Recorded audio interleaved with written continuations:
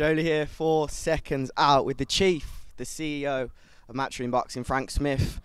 At the end of fight camp year two, at the end of the third fight camp uh, week, and what a way to end it with a fantastic knockout from Joshua Buatsi. How are you, first of all? I'm good, mate. I'm good. Great, great three weeks, as you said, and what an ending! What an ending! You know, Joshua Buatsi went in there, he delivered. This was a good test for him, and he stepped up and he showed his class. So you know, congrats to him. He went out there and did the business, and three great weeks of I don't know, 24 fights, something like that, 22 fights. A lot of fights, a lot of fights that were that were live DAZN. Let's go to that actually. How do you make of the first three weeks just being exclusively with them uh, in the UK?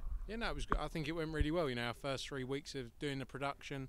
I hope the fans at home enjoyed it as well as the people here. Um, and you know, we're constantly evolving, constantly learning. We're gonna we're gonna change things. We're gonna move things around. We're gonna give new things a go all the time. Um, you know, and it's it's good. And we'll, we'll always listen to the fans and their feedback because ultimately they're the ones tuning in. Um, but yeah, great start, great partnership, and lots more to look forward to. And just back on tonight, actually, Buatsi started a little bit slow. I think I said to Andy Lee, he was in control for about 80% of it. It was a little bit back and forth, but overall, a, a solid performance. Yeah, real performance. You know, he, he, he showed his he showed his class in there, and what finish as well. You know, he showed his power. Um, so you know, respect to respect to Buatsi. Um, you know, because he got he's been questioned in some of his previous fights, but I think when he truly steps up the levels, you know, tonight was a step up. That's when you're going to see the best of Joshua Buatsi, and you did tonight. And then on the undercard, we saw an impressive Joe Cordina, Michael McKinson as well. Yeah, great win for Joe Cordina. Went out there, did the business. Um, you know, and he'll be back out again soon. Uh, Michael McKinson, another good win for him. You know, I think it's going to be hard to find, you know, someone who's, who, you know, is going to be a tough challenge all the way through. Um, great card, top to bottom. Kash Farooq, a good win for him as well. You know, good good rounds in the bank. Hopey Price, good great win. It was actually a good six rounder as well. And he st- he comes back out. He's got ten rounds against uh, Hussein in three weeks on September fourth. Um, so yeah, great card. Great card, and obviously Conor Benn announced today the rematch on September the fourth as well. Yeah, so that's added to the Warrington Lara card. So Conor Benn finally gets Not the rematch, the yeah, yeah gets to take on Granados. There is a rematch on that card, but not that one. Yeah, gets to take on Granados, but that's a packed out card. You got you got that fight. You got Katie Taylor on there. You got the rematch of Warrington Lara. You got Straffon against Hughes. You got the Hopey Price fight on there. You know it's packed top to bottom, and you know we're, we're only thousand or fifteen hundred tickets away from a sellout for that, and that is going to be electric at Headingley. Definitely. Um, I think it was Eddie who spoke to Danny for seconds out a couple of days ago, and he was mentioning how, like, you know, the UFC Apex kind of have similar facilities. It's their home, and they can just host fights whenever they want, kind of thing. I don't know if they're going to continue to do it when crowds can be fully capacitated again, but this is such a great place to have fights regardless of a pandemic, I think it. Sh- I personally think it should happen every year. Do you think it's going to continue? Maybe one fight a year here, obviously with with three, four hundred fans. I think Fight Camp actually looks a bit better than the UFC Apex. I, I agree. Yeah. To be honest, but no, no, they they've done amazing things in what they built there, so I can't I can't take that away. But um, yeah, I think I think Fight Camp will always exist. It's just whether it's here. You know, it's difficult to people have to, it's difficult to make it all work with 300 people in there. Um, but we want to keep the fight camp, you know, we want to keep the fight camp shows running. Um, but does that mean we go somewhere else? Maybe get a thousand people in there. That's something we'll look at. But I really think the festival style feel has worked, and people have loved it. You know, you speak to anyone out there, they've loved it. They've loved tonight. What does that mean then, in some capacity? Because fight camp to me is is is in uh, Eddie's back on a mask. I was like, here. What what do you mean then when you say? In some capacity with a thousand fans. Where else could it be? I mean, I don't know. Do we take it some? I, I think Fight Camp. We keep the brand, we keep the feel, the festival style thing, as I say. But do we take it to another venue which can fit more people? You know, we're restricted really as how many people we can get here. You know, whether that's transport, whether that's space. So, the concept.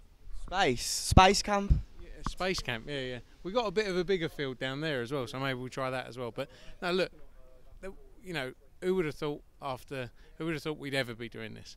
So let's see where things go. But overall, it's a, it's a great you know great development, great thing we put together, um, and you know another top year.